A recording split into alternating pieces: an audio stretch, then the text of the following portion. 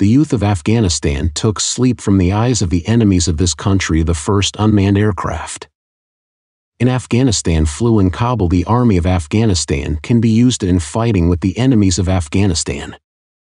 Youth of Afghanistan were able to build an unmanned aircraft with their bare hands and without any facility. This unmanned aircraft was designed and built by the teenagers of Afghan in the Innovation Center affiliated with technical and professional training to support young innovators. Mullah Ghulam Haider, head of the Afghanistan Technical and Vocational Training Organization, says that these unmanned aircrafts successfully made their first flight. One of the young people who built this plane says that this plane has the ability to fly up to 300 kilometers. He also added that this drone can be used for military purposes and aerial photography. According to him, this plane is controlled remotely and it has a remote electronic controller like a remote control. It seems that these planes are widely used in military and security purposes. These young people say if they are supported, they can also build military drones to help the drones in the military battlefields in the fight against the enemies of Afghanistan.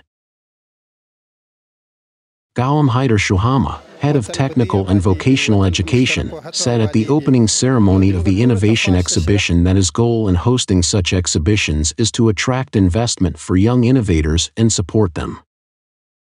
He also added that there are more than 912 types of innovations that include ships, drones, cars, and other innovations. He emphasizes that there are many young innovators in Afghanistan and they need more support.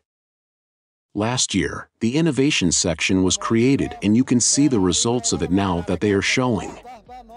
At the same time, the officials of the Ministry of Higher Education said in this show that professional and practical graduates are directly attracted to the country's universities. Muhammad Nadim, head of education, said that we promise those students who are going to higher education that we will provide them with practical and theoretical work in the university and you can use it in a better way. However, a number of innovators are worried. Lack of materials and work tools in the professional sector in the country. They say that with the support of the government, they can make more new innovations.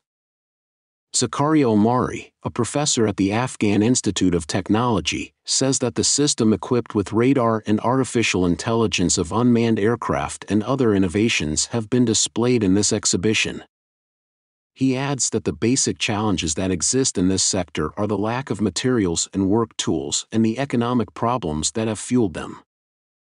And does not allow them to work and develop as they want. Afghanistan's talented youths have succeeded in inventing and building an unmanned aircraft with no modern technological facilities in the world.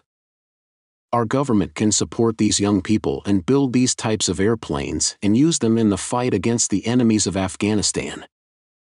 Also, an Afghan military officer by the name of Khalid bin Walid has embarked on a very big military initiative. He has built a 10-speed Autobahn gun that is remotely controlled by a computer. Soon, the National and Islamic Army of Afghanistan will be able to use this by fighting the enemies of Afghanistan in the battlefield.